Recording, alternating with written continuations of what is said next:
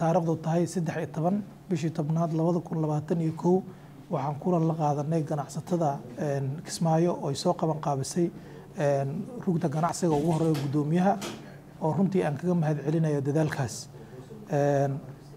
Runtii marxalad adag ayuu dalku ku jiraa. Annagu ma ilaa iyo berihii la soo dhaafayba wasaarad ahaan baaqi waan wadnay. Aadaan uga mahad celinaya ganacsatadii reer kismaayo iyo rugta ganacsiga inay ka soo jawaabeen baaqeenni. Maantana ay noo suura gashay inaan kulan la qaadano warbixinna aan ka siino marxaladda uu dalka marayo arrimaha abaaraha.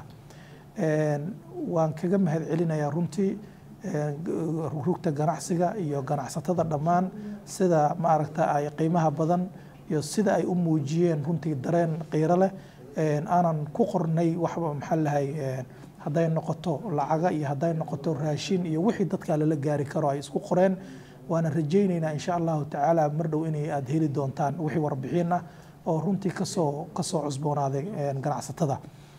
Guddi ayaga dhexdooda sameeyeen oon rajaynayna inay la shaqeyn doonaan guddiga ka hortaga iyo maxaa lalahay musiibooyinka maxaa lalahay dowlad goboleedka jubbaland wasaaraddu la shaqeeyo waana arrintan waa mas'uuliyad wadareed. Har iyo habeen aanan u taagnaani doona hadduu ilahay raalli ka noqdo. Waxaan rabaa marxaladdii waa ka sii daraysaa. Maalinba maalinta ka sii dambe waad ogtahaan inaan warbixin siinay in xoolihii loodii iyo arigii ay dadkii ka dhammaadeen. Waxaan xale xog ku helaynaa hataa in dadkii ay waxaweye naftoodii wax ay u cabaan ay laayihiin oo runtii mar dhowna hadduu ilaahay subxaana watacaala nasoo waraabinin raxmadiisa uu maxaa lahay ay naga soo dahdo in bini aadankuna ay saameyn ku yeelan doonto aad bay looga soo cabanayaa marxaladdu waa sii adkaatay. Waxaan baaq u dirayaa dhammaan bulshaweynta soomaaliyeed ganacsatada siyaasiyiinta.